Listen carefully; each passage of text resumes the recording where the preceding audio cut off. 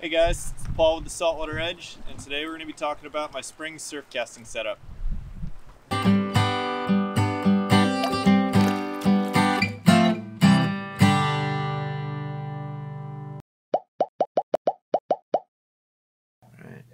Here we're going to go over my entire surf casting setup from head to toe, beginning with my boots. I like to fish with the Simms G3 guide boots with felt soles and I have the Gripstud 1800s in them. These boots offer plenty of ankle support, they're very lightweight, and the studs can rip through just about any seaweed or barnacles that may be on the rocks.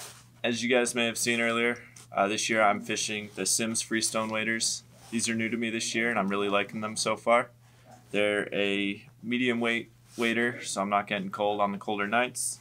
They have a nice hand warmer pocket. I don't know if you can see, but it's got a little bit of fleece material in there, along with a zippered pouch for a phone, wallet, fishing license, whatever else I may want to keep dry and under my surf top. Uh, for my surf top, I'm fishing the Stormr surf top. I like it for a variety of reasons. Has a nice cuff down on the waist, so waves aren't coming up from underneath. We have some uh, cuffs on the wrists, so your arms and sleeves aren't getting wet on the inside, and then you also have some cuffs around the neck as well. Uh, it does have a nice handy pouch on the front. You can store whatever you'd like, and a secondary way to warm your hands as well. Uh, my surf belt is a Z belt. I really like fishing it. It's really wide with a padded lumbar support, so I have no more back pain uh, after long hours of casting with a heavy bag over my shoulder. There's also two webbed straps. You can put your bag right on this so you can slide it around your waist quite easily without twisting your whole jacket and belt around. On the other side, you'll have uh, a smaller strap for your either boga grip, pliers, a knife, whatever you would like to have on your belt. Yeah.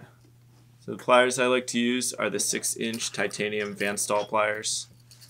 Fit in your hand perfectly, they're nice and lightweight, and you never have to worry about them uh, corroding in the salt water or anything like that.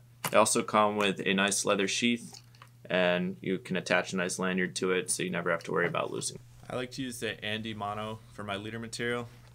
I also like when they're in these spools because I can leave it outside my bag for easy access. Anytime you see a little nick or any abrasion on your line, it's always a good idea to switch it out and this makes it much easier for me.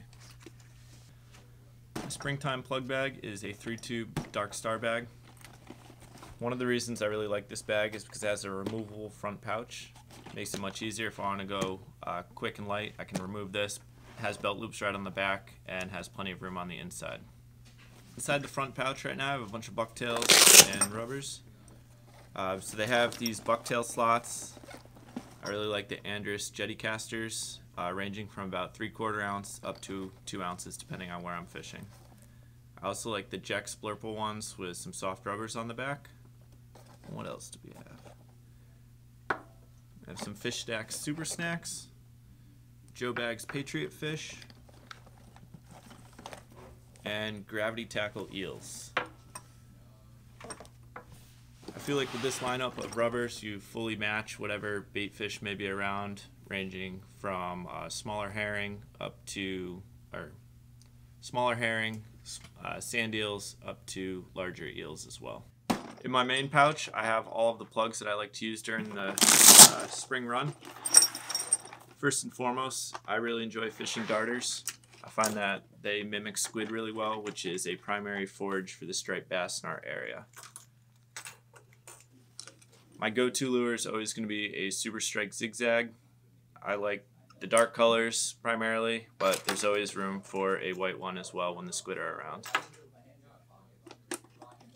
similar to a darter. What I like to use is on rougher nights are the North Bar bottle darters. These dig extremely well in current and big surf, and they cast pretty decently into the wind as well.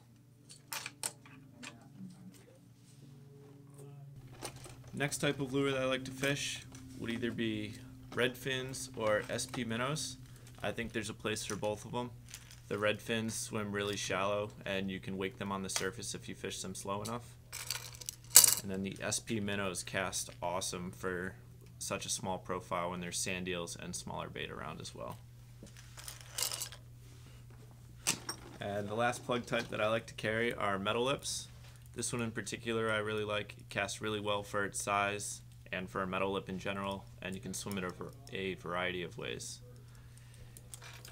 And that finishes up the types of plugs that I like to carry in the springtime. Uh, no matter what time of the year it is, the light that I like to use is a Princeton Tec Amp 1L. Um, I like this, the battery seems to last a while. I never have any problem with water getting inside it and ruining the light. And with a nice lanyard, it sits nice and tight on your neck and you don't have to worry about it swinging around. As you guys saw earlier, this is my springtime surf casting setup. We have a 10 foot Lamiglas GSB. I really like this blank because it's a moderate action, pretty forgiving. Can handle anything from small swimmers up to larger metal lips if the bite calls for it. I also like to use a Van Vanstall 250. I'm left-handed, so my options were a little limited. Ideally, it'd be a 200, but this reel can handle everything from schoolies up to the springtime cows. Alright, here's everything you guys can see in my spring surf casting setup, from the boots that I wear, the waders, dry top, to the gear that I fish. Thanks for watching, and if you have any questions, comments, please leave them below. Let us know what you'd like to see next. Thanks for watching.